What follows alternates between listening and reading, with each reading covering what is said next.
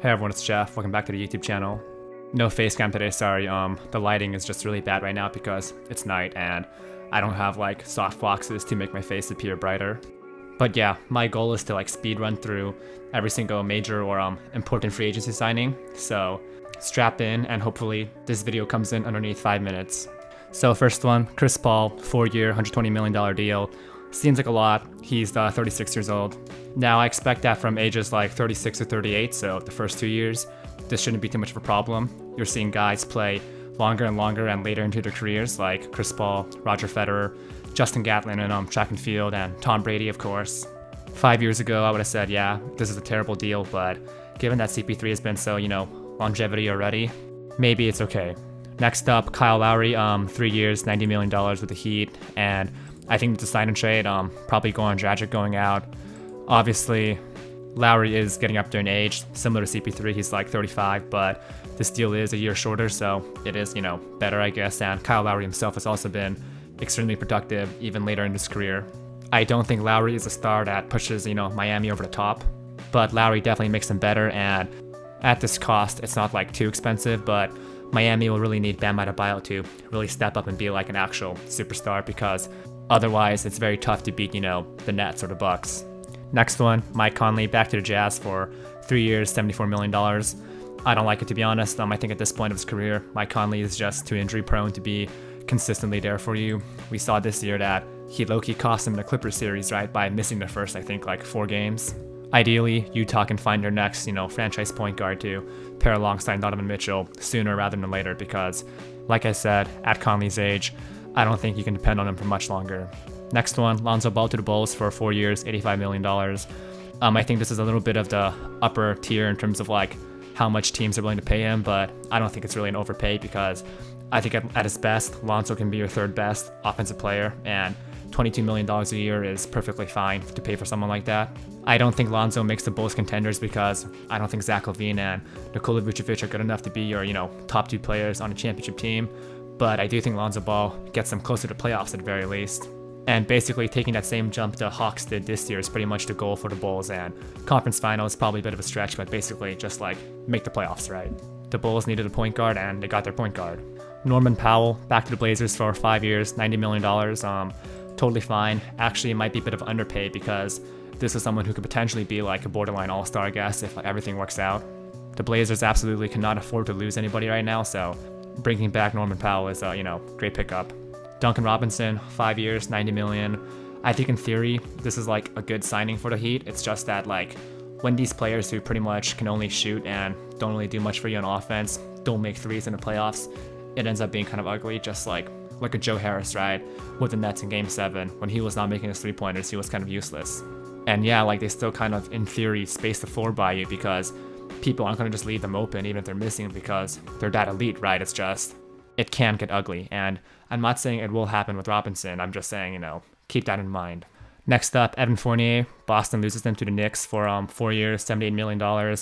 Totally good pickup for the Knicks. They had cap space to burn, right? And they needed shooting, they needed scoring, they needed overall just like off the dribble shot making and playmaking from outside. I think Evan Fournier, he isn't the star that the Knicks need, but he's definitely a great pickup for them. And I think for four years and um, $78 million, totally fine value.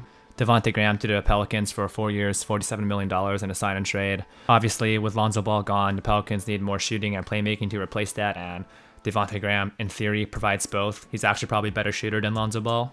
He's not a very efficient scorer because he's pretty much like not good from within the three point line, but it's not like you're paying him a lot of money. And just in case Kira Lewis and, you know, Nickeil Alexander Walker don't like play very well, at least you have a capable starting point guard at least. Tim Hardaway Jr. for four years, $72 million. That's, you know, fine. Fair market value for a shooter like him. Jarrett Allen for $100 million, five years. For some reason, people think that this is being overpaid. I don't think so whatsoever. Like, for a young center who has potential like him, this is pretty standard. And I don't think $20 million a year is actually a lot considering the salary cap goes up every single year. This is like the equivalent of paying a center like $17 million a year in like three years and the salary cap does go up. I love the fit between him and Mobley. If Mobley's outside game can actually progress, he should be great fit at power forward and hopefully his body can, you know, take on less of the wear and tear of being a center. Richaun Holmes back to the Kings for four years, $55 million. Um, perhaps a little bit more than I think teams are comfortable paying him, but Sacramento really can't afford to let their starting center go because they need to make the playoffs next year. It's pretty much like make it or break it time for De'Aaron Fox. It's not easy sucking for five years straight. And Holmes, when he was healthy, was pretty good last year. Kelly Olynyk to the Pistons for three years, $37 million. I do not know how he's still getting this much money because there's no way I think a team should be paying Kelly Olynyk more than like seven, eight million dollars a year. I know he had a resurgence this year, but like he's on a contract year, right? And I don't think he'll play like that again. Reggie Bullock for um three years, $31 million to the Mavs. I don't think Bullock makes them much better considering the Mavs already had a crap ton of shooting, but at least he's kind of a two-way player. Defensively is all right. He's not someone that moves the needle for the Mavericks, but he can help at least. Doug McDermott somehow gets three years, $42 million from the Spurs. Um, he Loki had a kind of nice season last year, actually. He averaged like 13 points per game on, you know, close to 40% shooting from three on like five threes a game, which isn't terrible. It's just, um, that's a lot of money to pay for like Doug McDermott, you know. Now, over to the Lakers stuff. Um, they basically got back Dwight Howard, Trevor Ariza, and Wayne Ellington, all former Lakers for um, not a lot of, you know, money. And this is exactly what I was talking about before when people were complaining about the Lakers not having spacing and they only had four players on the roster, so how are you going to complain about the Lakers not having enough spacing when their roster wasn't even filled out? And here they go. They're getting, you know, shooters. Wayne Ellington is like quietly one of the best shooters in the league for the last like half decade. Trevor Ariza is, you know, theoretically a 3 D player. I'm not sure if he's still that guy because he's like 35 now, but hopefully he is. Dwight Howard, great re-signing. Um, I think the Lakers really need someone like him. Alex Caruso to the Bulls for four years, $36 million a year. Um, memes aside, I think this is low-key an overpay for Caruso. I don't think he's worth this much.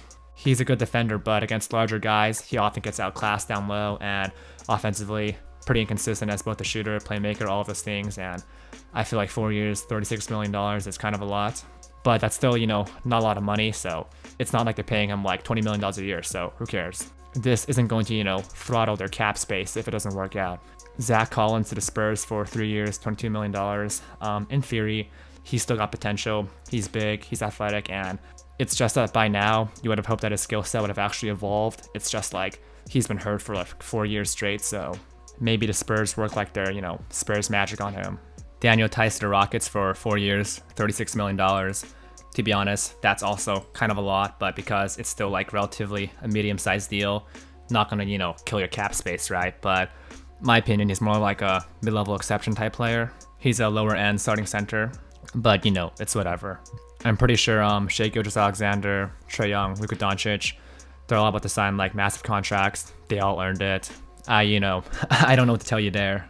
As for DeMar DeRozan, I feel like, you know, he's waiting for the Miami Heat to try to like make up some cap space to get him. I'm assuming you're gonna have to trade like Tyler Herro.